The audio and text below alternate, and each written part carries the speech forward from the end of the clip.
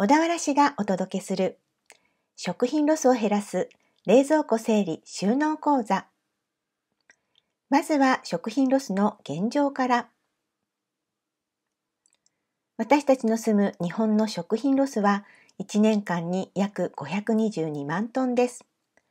これを国民1人当たりに換算すると、毎日お茶碗1杯分に近い量、おにぎりに例えると約1億個以上が捨てられていることになります。小田原市でも環境事業センターに運ばれるゴミの中にはたくさんの食品ロスがあります。その原因を調べると、食べ残しが52.8%と最も多く、続いて直接廃棄が36.6%でした。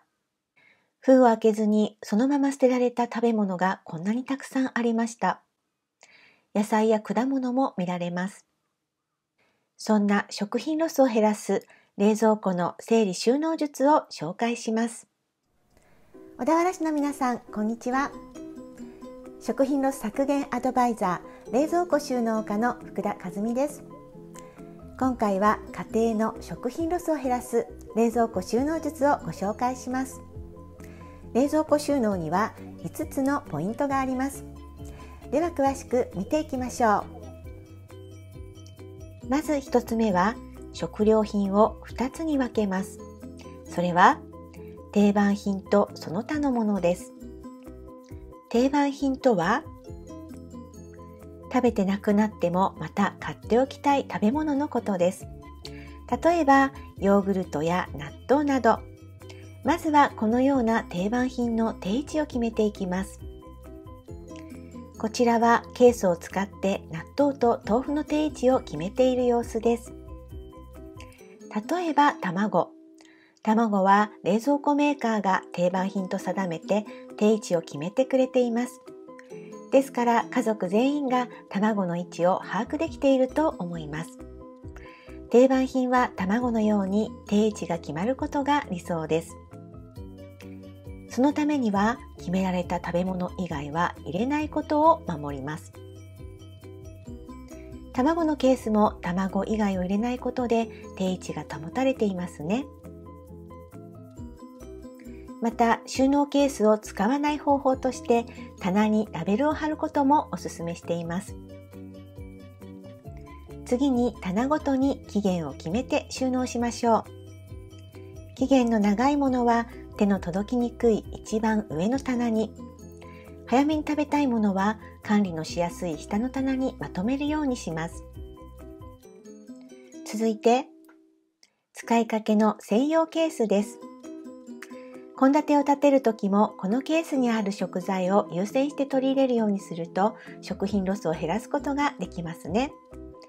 そしてもう一つ。期限の長い調味料などは開封日を記入することをお勧めします。開封した日を目安に美味しいうちに使い切りましょう。続いて、使いかけ野菜も迷子にしない野菜室収納です。小さくなった野菜は専用の容器にまとめると迷子になりません。容器の底にすのこを引くと余分な水分が落ち、野菜の水腐れを防いでくれます。お手持ちの容器にハサミで切れるすのこを活用してみましょう。この容器にある野菜から献立を立てると食品ロスを減らすことができます。また野菜室は定期的に空にするように心がけましょう。そんな時におすすめなレシピは残り野菜のスープです。美味しいスープには玉ねぎが欠かせませんがあとは冷蔵庫にある野菜で栄養たっぷりな具沢山スープはいかがでしょうか。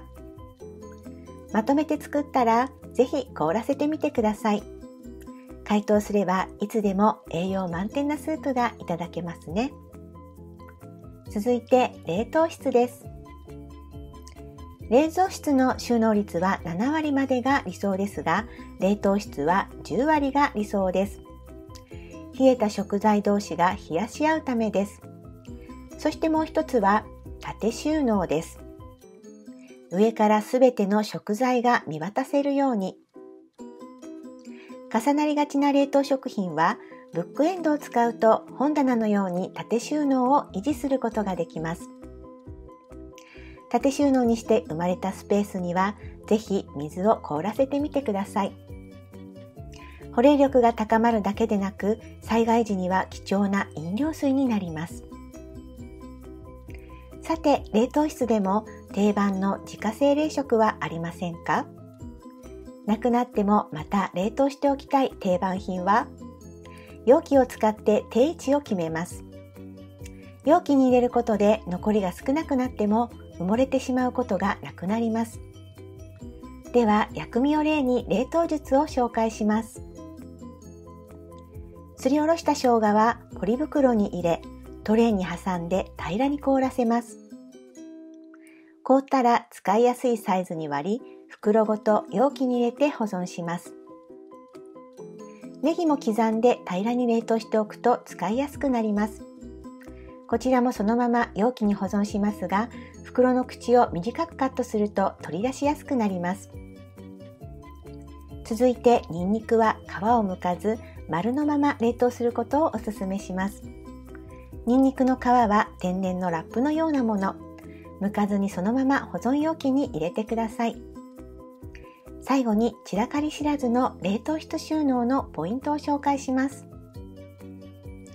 空になった容器はきれいに洗って冷凍室の定位置に戻しますすると散らからない冷凍庫収納が維持できます自家製冷食は1ヶ月を目安に使い切りましょう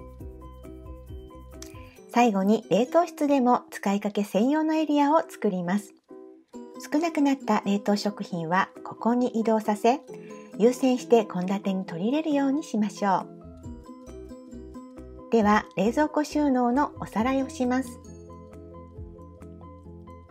これまで5つのポイントを紹介しました。まずは冷蔵室の食料品を2つに分けます。そのうちの定番品は卵のように定位置を決めました。そして棚ごとに期限を決めて収めました。期限の長い調味料は開封日を記入し、最後に各部屋に使いかけの専用のエリアを設けました。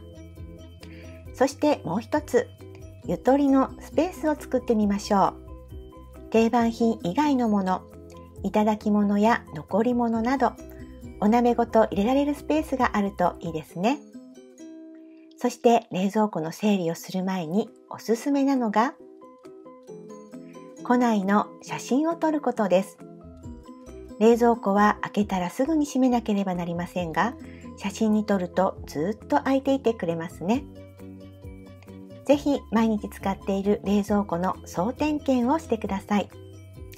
我が家の定番品は何かな？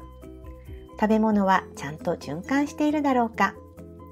最近使っていない調味料などなど冷蔵庫整理の作戦を立ててくださいそしてこの講座を参考に冷蔵庫を整えることができたらぜひもう一度写真を撮り今度は冷蔵庫に貼ってみてくださいこれがあなたの基本の冷蔵庫収納になります時に散らかってしまってもこの基本のスタイルに戻せる動機づけになると思います。